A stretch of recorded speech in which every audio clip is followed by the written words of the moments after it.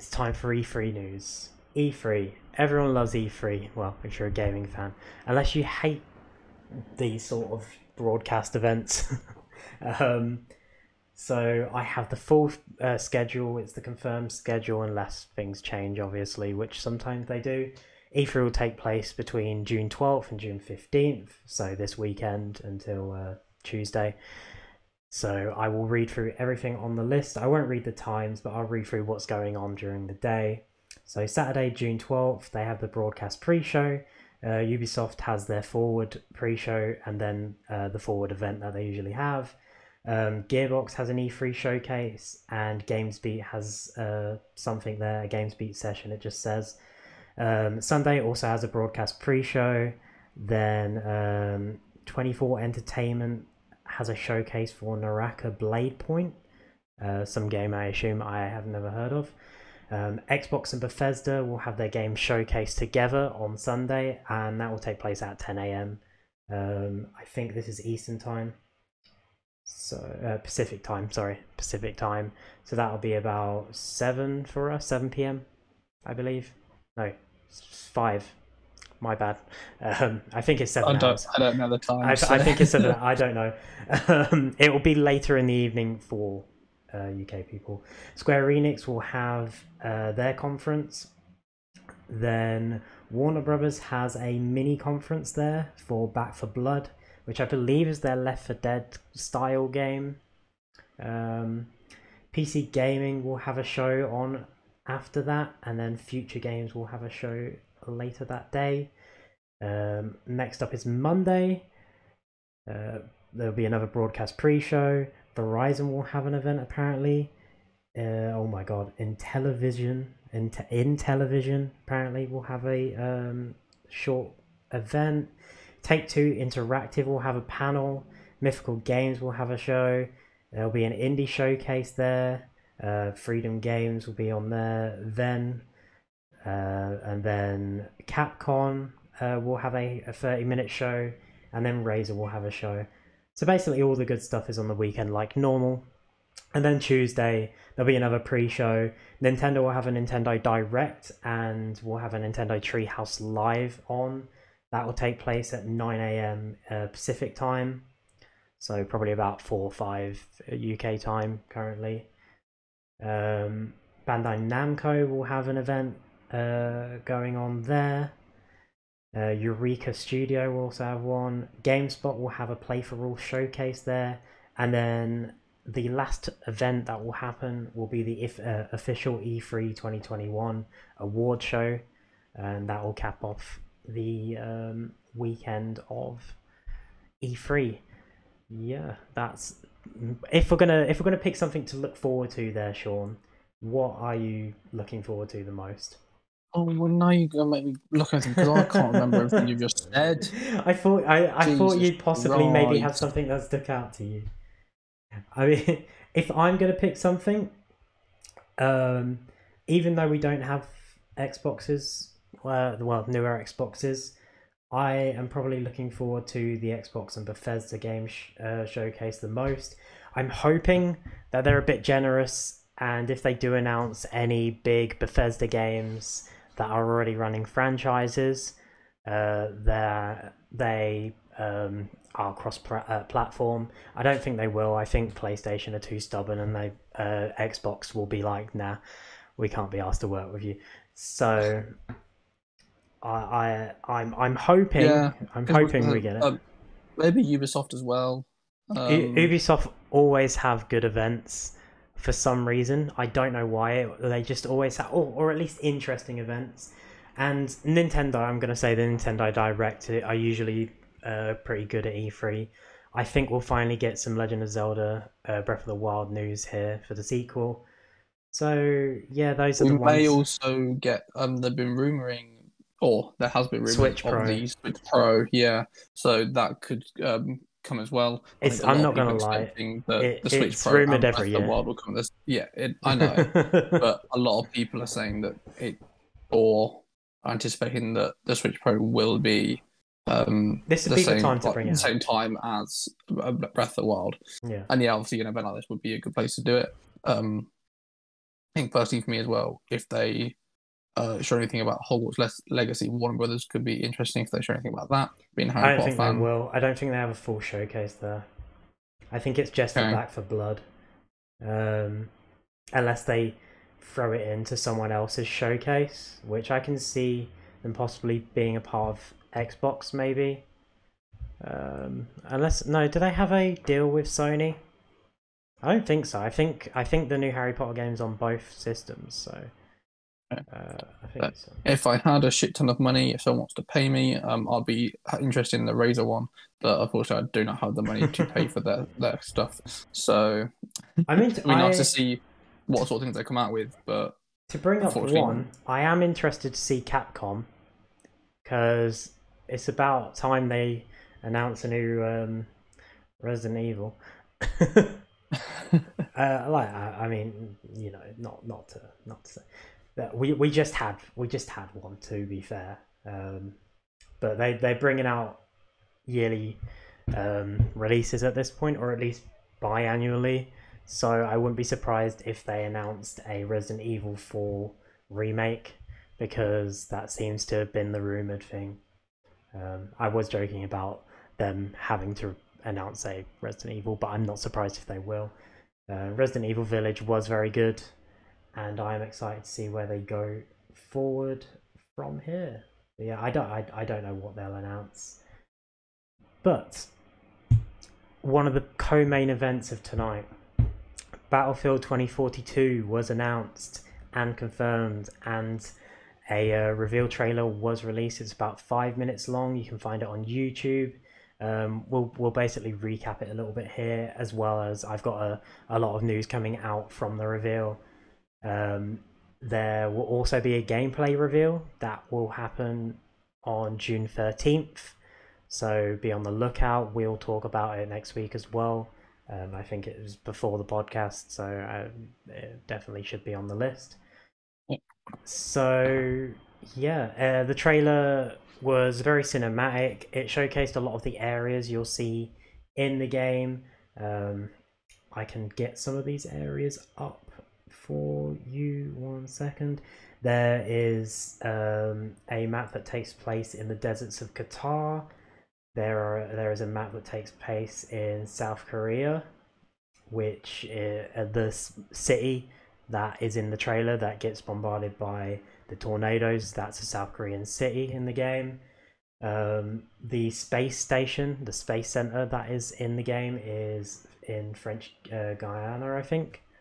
So uh, those are some of the maps that will be appearing. Um, I will run through quickly what will be included on PS5. There will be 128 player count uh, lobbies. I think that's also for Xbox Series X and for PC as well. Um, for the PS4 and Xbox One, there will only be 64 player lobbies. So yeah, um, there will be no campaign mode, which I've seen a lot of people complain about. I don't understand why they're complaining. If it was Call of Duty, when Call of Duty did it to Black Ops, um, I I completely understood. Black Ops had a running storyline. It had characters that were much loved, and they kind of just threw it to the side for no reason. Battlefield 2042 is while it's not a new IP, it has no correlation to any other Battlefield game.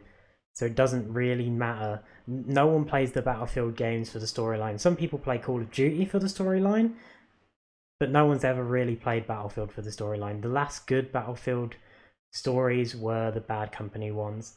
I'd say three and four weren't terrible. As far as I remember, they weren't terrible. I should say, but um, they they weren't anywhere near like ninety nine percent of people that play Battlefield play it for the multiplayer, and I kind of I kind of disagree with everyone complaining about this. If it was Call of Duty, like I said, I'd understand.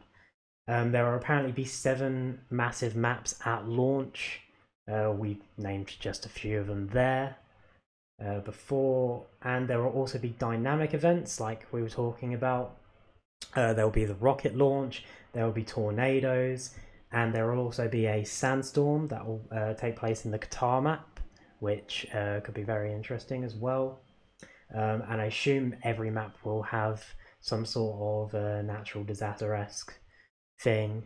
Um, so it'd be be interesting to say the least.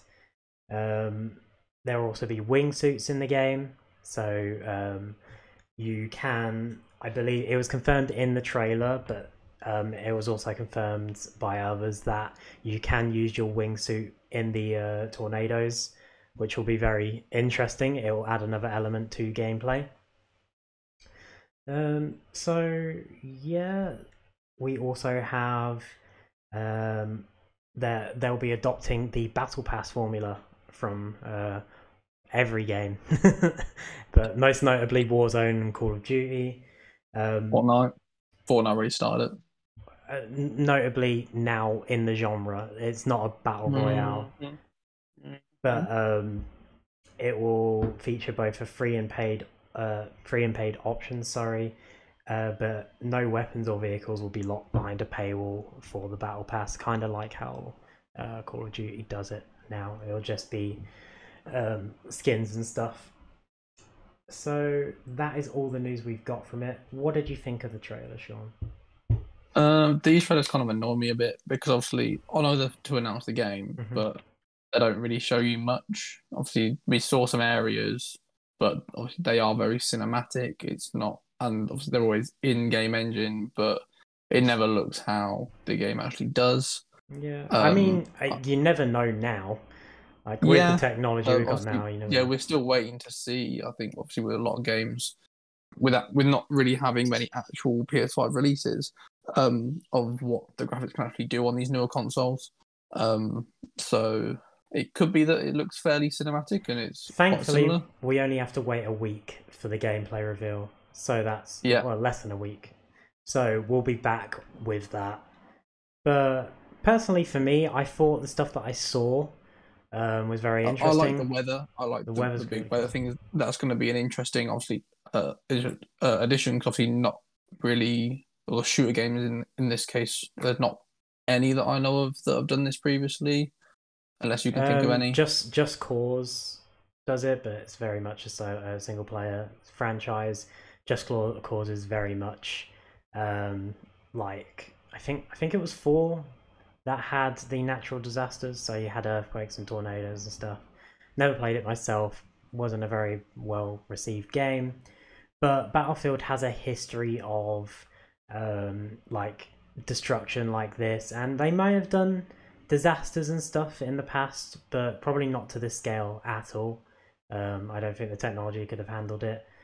Uh, but Call of Duty even copied them for Modern Warfare 3 and called it Levolutions, I believe, back in the day. Um, so that was fu- that was funny.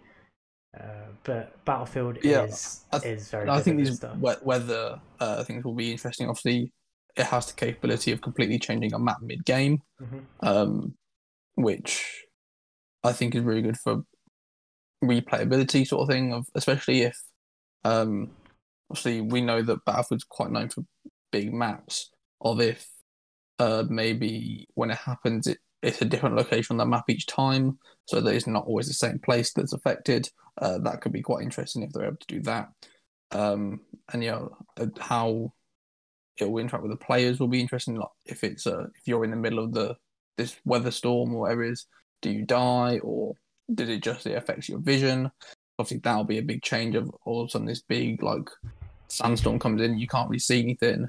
Uh, it might be that there's extra things like you can equip goggles maybe so you can see better, but it takes up uh, one of your slots for equipment. I don't know. There's a poss- a lot of possibilities they could do with it, um, but I think it's interesting and will definitely add a whole new dynamic to, to the game. Um, past Battlefield games have dealt with like sandstorms and dust storms. I think Battlefield One has it from what we've played. Uh, we've had where it obscures your vision a lot uh, sometimes, uh, but oh well, there's definitely fog. I remember there being fog in Amiens to be specific, but yeah, I'm very excited for this. It's about time we got a more modern. Well, it's technically futuristic, but it's not going too far in with it. I don't. There's not like jetpacks. There's not. There's wingsuits, but wingsuits have been in games before. Like it's not a, a big deal. I kind of like wingsuits rather than just. I don't know if there'll be parachutes as well, but Um, I do like wingsuits as a concept. So yeah, I'm very excited to see where they go with it. There's not much else to say. There wasn't much um, to talk about other than uh, the showcases of the maps. Like the South Korea map looks pretty good. I don't know how much of the map will be open if you can go inside all the buildings, um, in the skyscrapers and stuff. Uh, but it'll be interesting to see how that works. Um, I I like the rocket launch stuff. I believe we saw, like, I know we said the tornadoes were in the South Korean map, but I believe there was in one of the leaked photos a tornado at the um, space center. So maybe like some of these natural disasters will be not just set for one map, there'll be like crossovers, which will be interesting. I don't know, I don't I feel like they're better off sticking to a natural disaster and map, but I guess it changes up gameplay, so I'm not against it uh, personally.